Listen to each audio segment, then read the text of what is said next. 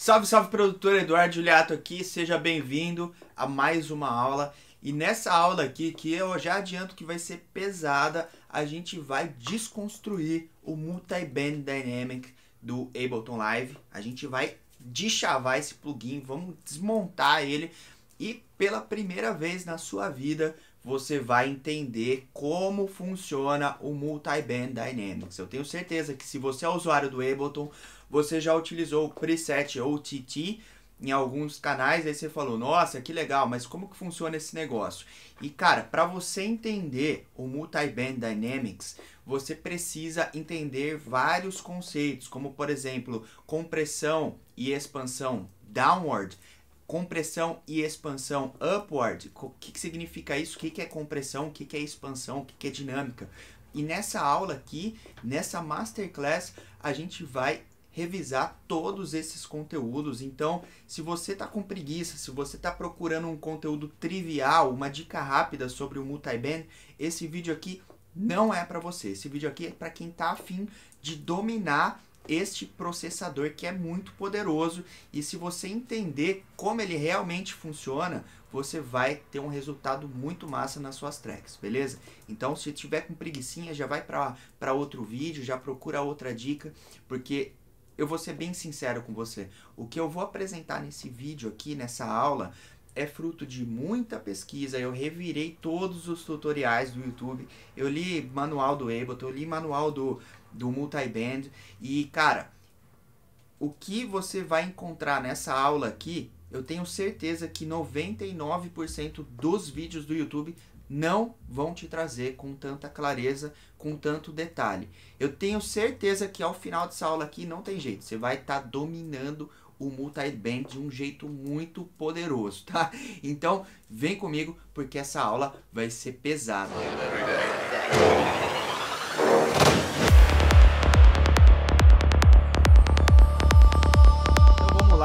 Meus senhores e senhoras. Senhoras e senhores, mulheres primeiro. Vamos falar sobre a interface do Multiband Dynamics. O Multiband Dynamics ele não se chama Multiband Compressor porque ele não é somente um compressor, ele é também um compressor e um expansor. Não sei se essa palavra existe em português ou a gente chama de expander. E eu vou explicar os conceitos aqui para você de uma forma bem simples, do jeito mais detalhado que eu consegui traduzir esse conteúdo. Agora, se você tiver preguiçinha de estudar, se você tiver preguiçinha de investir o seu tempo aqui, nem perde tempo, mano. Já vai lá pro presetão lá, no preset do OTT aqui e se vira. Porque isso aqui hoje, eu já te aviso, vai dar trabalho. Então pega um cafezinho, pega papel e caneta e esse vídeo você vai voltar algumas vezes, porque o conceito é um pouquinho complicado de aprender. E este Multiband Dynamics aqui exige que você tenha um conhecimentozinho prévio sobre dinâmica, sobre compressores, sobre ataque, sobre release, threshold, o que, que faz um compressor. Se você não sabe nada, se você já está no PME Club, existe o curso lá, A Arte da Compressão, que é o curso mais sinistro de compressão que existe no Brasil. Eu nunca vi nenhum curso, nem na gringa, nenhum curso sobre compressão tão sinistro, zica do baile como a arte da compressão e você acessa dentro do PME Club. Quem é sócio tem acesso a esse e mais 30 cursos lá. Eu sempre deixo o link abaixo dos vídeos aqui. Se você está vendo esse vídeo dentro do PME Club, é sinal que você já está no a arte da compressão, então você está muito bem encaminhado. Bom, esse compressor aqui, ou expansor, ele funciona em três bandas diferentes. É como se eu tivesse um compressor aqui nos lows, um compressor aqui nos mids e um compressor aqui nos highs. São três compressores diferentes atuando de maneira independente em cada uma dessas bandas de frequência. Então, uma vez que eu tenho o poder de manipular diferentes bandas de frequência isoladamente, eu tenho dois efeitos possíveis com a minha alteração dinâmica que esse plugin vai causar. Além das transformações dinâmicas que ele causa no sinal, eu tenho também um efeito secundário de equalização, ou seja, eu posso causar, criar ajustes tonais. Eu posso diminuir os lows, aumentar os highs, diminuir ou aumentar os mids. Então eu posso criar ajustes tonais e assim ele funciona mais ou menos como um equalizador também. O efeito é mais ou menos como de equalização em relação ao balanço tonal, tá? Então vamos conhecer um pouquinho a interface do nosso amigão aqui. Bom, primeira coisa que ele tem high e low referente às bandas baixa e alta. E a do meio? E a dos mids? Não tem aqui? Por que, que não tem a dos mids? Porque a banda dos médios aqui é a diferença entre a dos lows e a dos highs. A dos lows vai ser aqui, quando eu seto em 120 ou 150, 160, ele, essa banda vai ser de 20, de 20 Hz até 170 Hz os highs de 2.500 até 20.000, então de 2.500 aqui até 20.000. E os mids vão ser o que sobrar entre eles, beleza? Então esse é o primeiro conceito que você precisa entender aqui. E aqui eu posso definir o tamanho das bandas que eu quero, ou eu posso desabilitar alguma banda. Se eu não quiser trabalhar com ela, eu simplesmente nesse toggle aqui, eu posso desabilitar qualquer uma das bandas e posso solar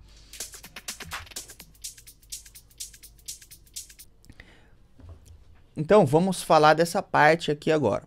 Aqui no T, eu tenho ataque e release de cada uma das bandas. Então, cada uma das bandas eu posso controlar o ataque e o release de forma independente. Tá dando uns, uns picos aí no som, sei lá que tá rolando.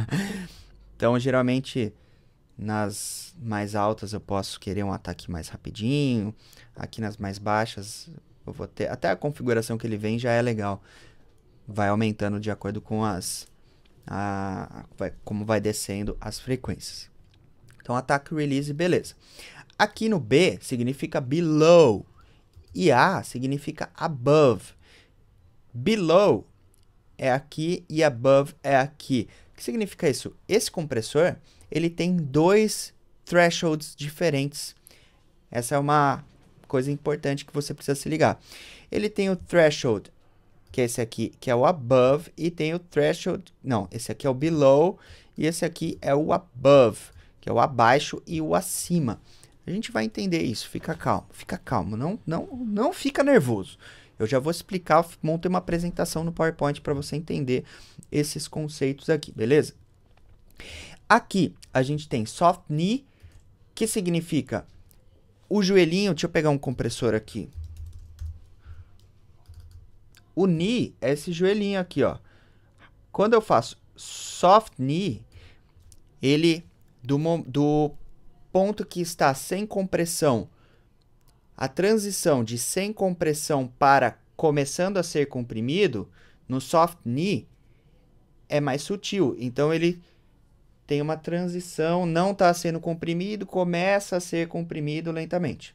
Agora no hard knee, ele não está sendo comprimido, chegou no ponto do threshold, ele já começa a compressão rapidamente, ele fica mais agressivo, o som fica mais duro. Então isso aqui é o knee. Quando eu deixo habilitado, ele está no soft, quando eu tiro, ele está no hard. E aqui em RMS ou peak, RMS ele vai pegar ele vai executar a compressão em cima da média de volume, que é o RMS, um volume médio. Agora, o peak, ele vai executar a compressão em cada pico. Já é uma coisa mais precisa, mais rápida, o compressor atua mais rápido. O que mais que a gente tem? Ah, aqui tem input e output. Input é o volume de entrada, aqui é o volume de saída. Isso aqui é basicamente o makeup gain, né? Então, quando eu faço uma compressão, eu tenho um gain reduction aqui, ou uma redução de ganho. Aqui eu vou compensar essa redução de ganho, ou um aumento de ganho, eu vou compensar reduzindo no output aqui. Então, eu tenho esse output individual, makeup gain individual para cada uma das bandas, mas eu também tenho um makeup gain global aqui, a saída global do compressor ou do expansor. E esse time aqui é um volume global de ataque e release. Então aqui eu posso mudar é, tornar todos mais, mais rápidos ou mais lentos. E o amount é a porcentagem de efeito que eu vou criar no meu sinal. Então, 0% não tem efeito nenhum. 50%, 50% de efeito. Seria uma compressão paralela. E aqui é uma compressão normal aí. Tá, então imagina que o meu threshold tá aqui no 120 20 e pouco aqui. Não tá tendo compressão, tá? Não tá tendo compressão. Agora, à medida que eu baixo o meu threshold, imagina que o threshold tá aqui no menos 126. Num compressor normal, todo mundo que passar do 126 vai ser comprimido. Isso é o que a gente chama de compressão downward. Agora eu posso pegar, colocar um threshold aqui embaixo, ó. Posso pegar um threshold, colocar aqui embaixo e falar: todo mundo que passar desse threshold vai subir. Então eu vou comprimir de baixo para cima. É uma compressão upward. Isso não é muito comum, né? Esse tipo de compressão. Mas com esse plugin aqui a gente consegue fazer a compressão upward.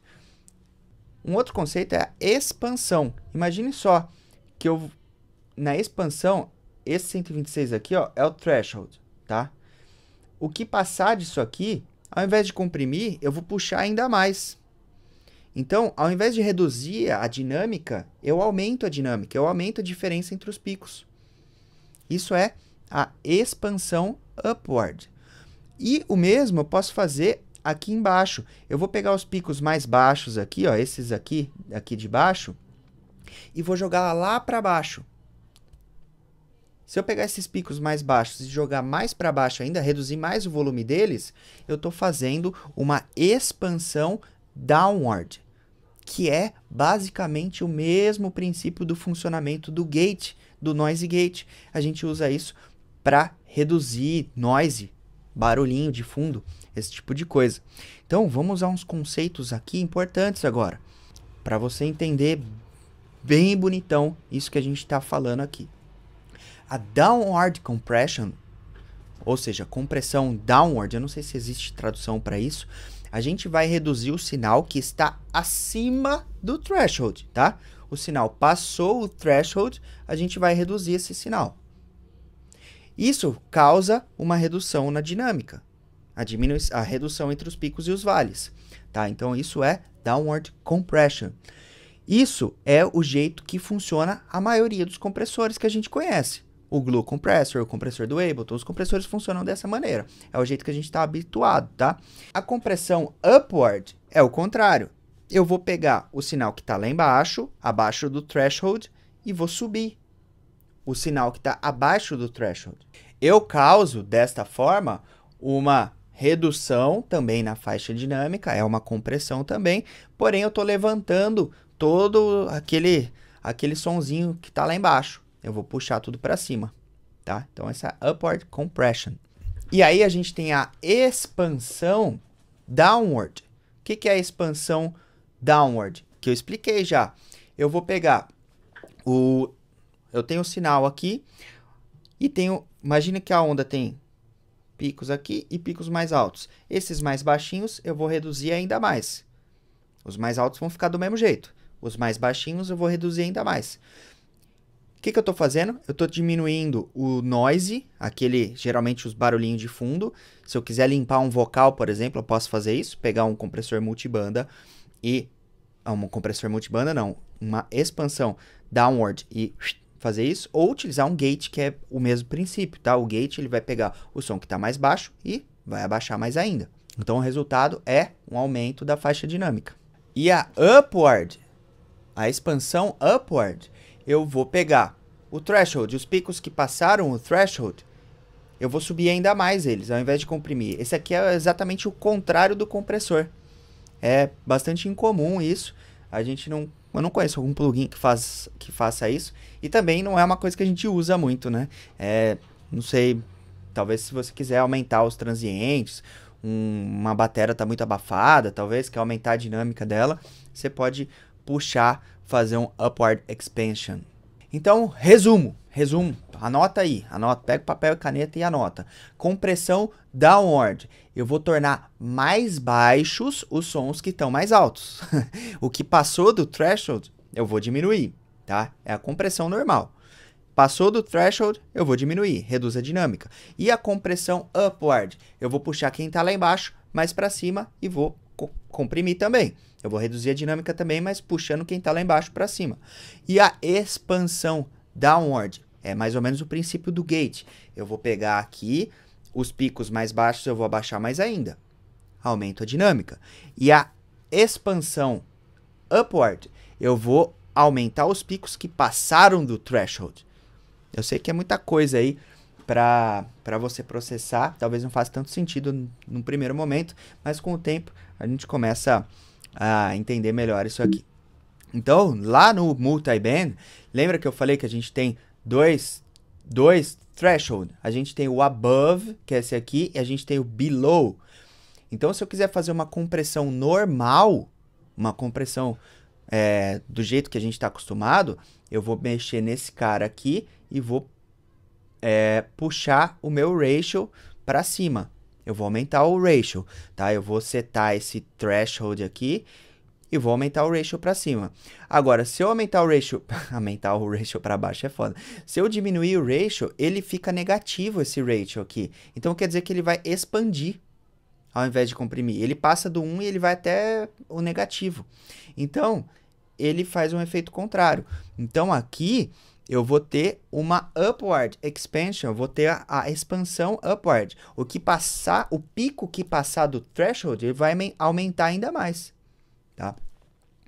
Agora, aqui a mesma coisa. Eu vou fazer, se eu aumentar aqui, se eu puxar o meu ratio para cima, puxando o ratio para cima, ele vai puxar a galera que está lá embaixo para cima e vai fazer uma compressão upward. Agora, se eu puxar o ratio para baixo, ele vai ficar negativo e aí eu vou fazer uma expansão downward, que é o mesmo princípio do gate. Beleza? Vamos para a segunda parte do nosso treinamento aqui sobre o Multiband Dynamics e eu tô com um, um loop aqui que eu criei.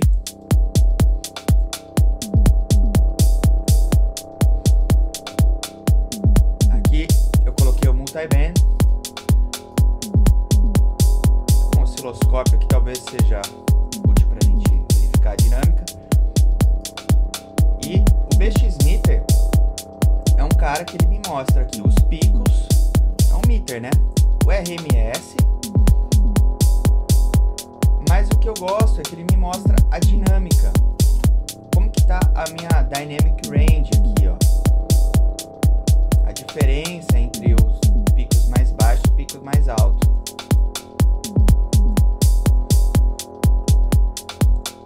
E agora a gente vai entender um pouco mais do multiband aqui, como que funciona cada uma dessas desses blocos aqui que são os threshold. Então, só relembrando, aqui esses de cima são o above. São a gente pode fazer compressão ou expansão tanto no de cima como no de baixo. Só que o de baixo vai ser a compressão de baixo para cima ou seja, eu vou pegar esses picos aqui mais baixos e vou levantar eles. E a compressão aqui na parte de cima, no above, eu vou pegar esses picos aqui de cima e vou reduzir. A expansão aqui de baixo, eu vou pegar os picos aqui de baixo e vou trazer mais para baixo. E a expansão aqui de cima, eu vou pegar esses picos aqui e vou trazer mais para cima. Assim fica mais simples de entender, né? Então vamos fazer agora uma compressão nos lows. Ó, eu vou colocar aqui em pico, colocar um hard knee. Eu tenho que escolher aqui above, tá? Tem que estar no A aqui, ó. Azinho. Vou pegar o meu threshold posso ver aqui que ele tá batendo menos, menos 12 mais ou menos, né? Esse subzão aqui, ó. E ele vai mais ou menos aqui até 100, até 200. Eu até vou aumentar um pouco mais esse essa faixa aqui. Ó. E agora vamos fazer uma redução aqui. Ele está batendo no menos 12, né? Então, se eu trouxer para baixo de menos 12, já está tendo compressão, ó. Eu posso ver por aqui também, ó. Está batendo menos 12, por aqui, ó. Então, vamos fazer uma compressão aqui até menos 22. Vai ser uma compressão agressiva. Se eu pegar aqui agora o meu ratio e descer ou seja, ele vai subir, né? Se eu arrastar para baixo, ele vai subir. Então eu estou comprimindo, ó, o ratio está aumentando. Se eu colocar o ratio em 2, significa que metade do sinal, ó, ele reduziu pela metade o que passou do threshold. O threshold está em menos 22. O que passar de menos 22 é reduzido pela metade, ou seja, ele tá indo agora. Tá batendo menos 18, mais ou menos, aqui.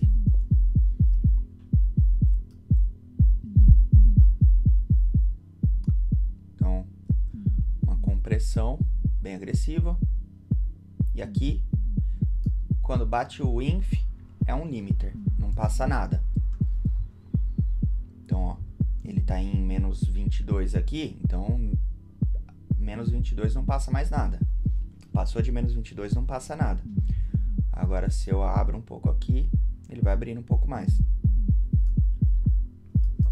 E aqui eu tenho meu attack release. Se eu quiser esse low end mais tight, mais apertado, eu posso diminuir um pouco mais o meu release.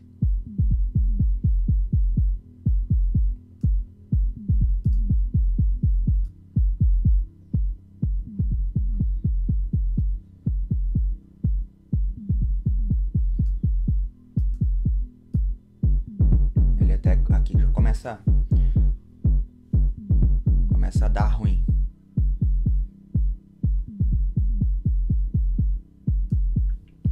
Eu posso testar sem o efeito.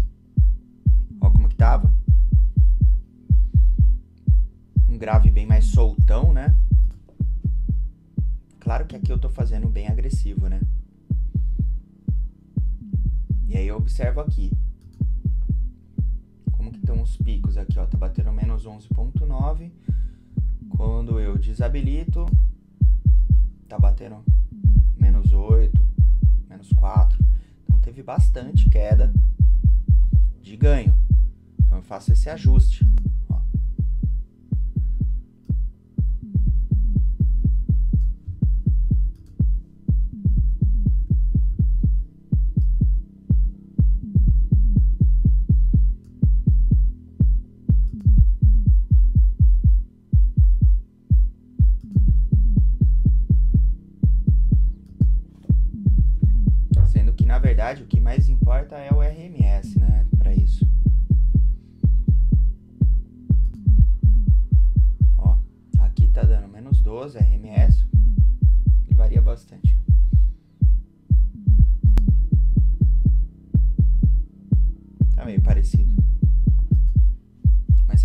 Como fica mais tight esse low end, mais apertado?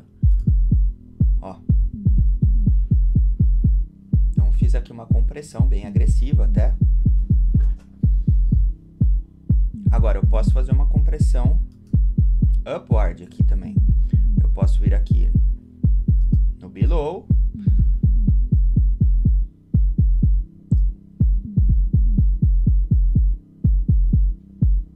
Puxar para cima.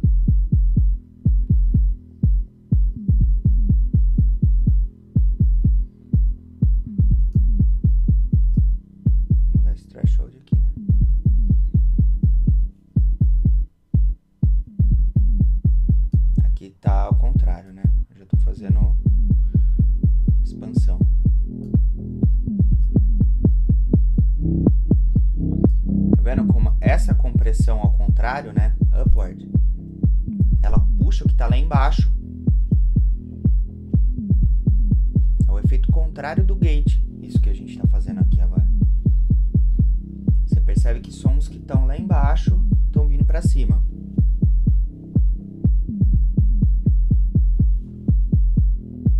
Até um pedaço do baixo, né? Então, nesse caso, não é isso que eu queria. E aí a gente pode fazer o contrário, que é a expansão.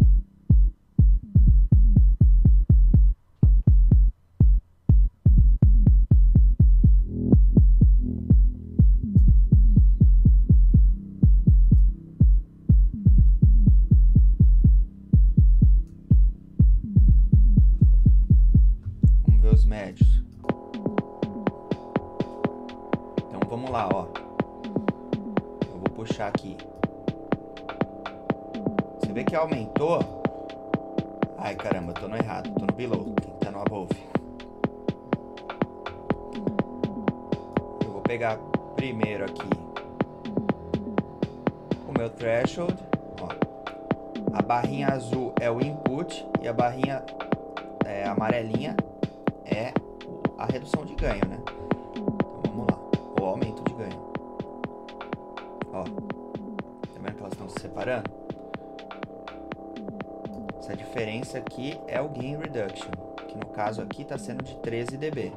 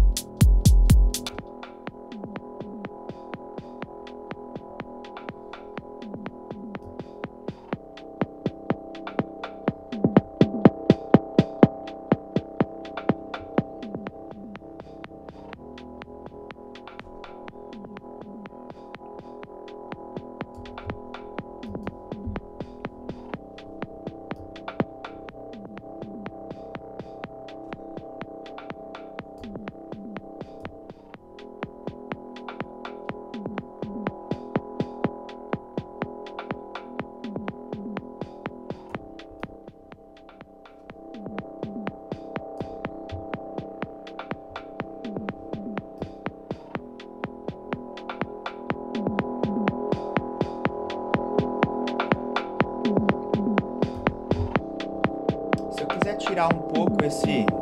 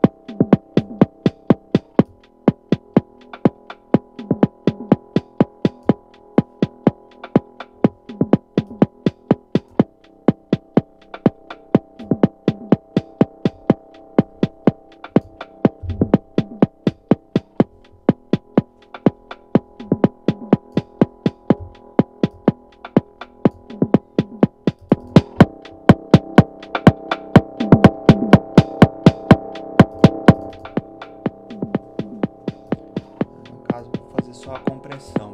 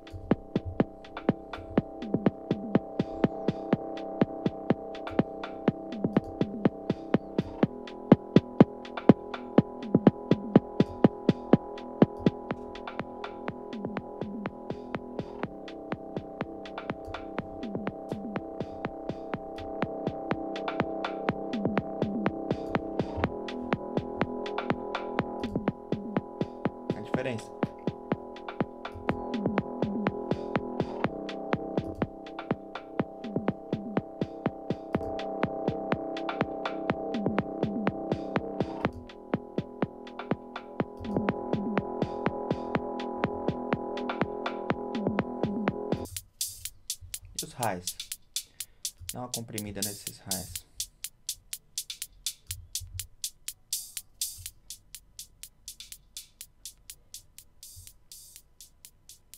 Olha tanto comprimiu. Comprimiu muito.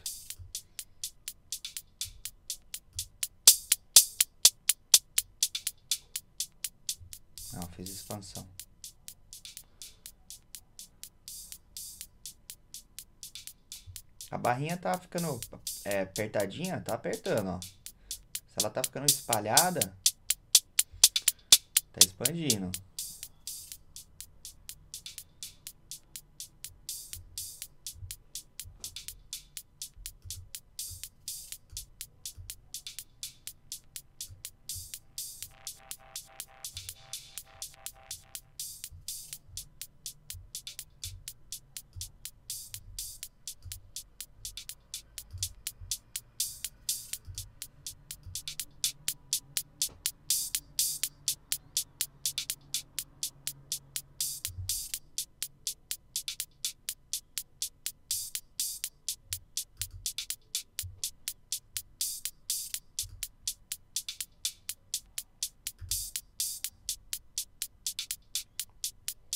O ataque aqui também.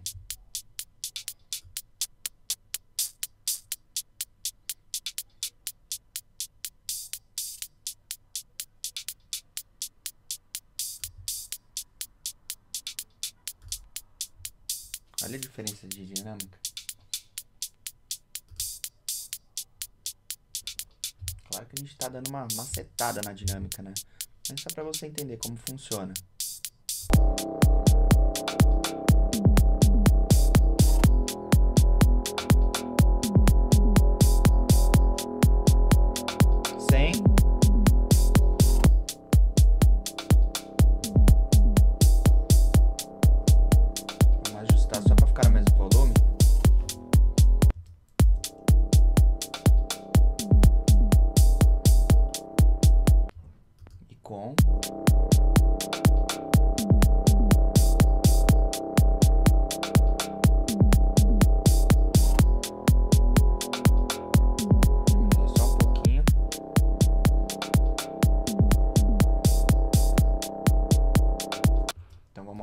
Nada.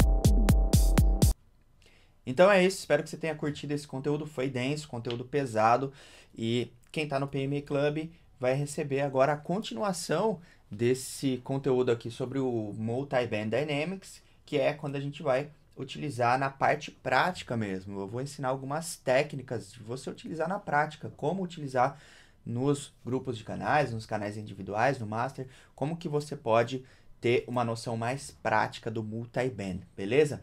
Então, espero que você tenha curtido esse conteúdo. Se você quiser entrar no PME Club, eu vou deixar um link ou um botão abaixo do vídeo aqui e por uma pequena mensalidade você pode fazer parte deste treinamento que, cara, vale muito a pena. Clica aí que você vai conferir lá, você vai ver que vale a pena. O negócio é sinistro. Tamo junto então e até o próximo vídeo.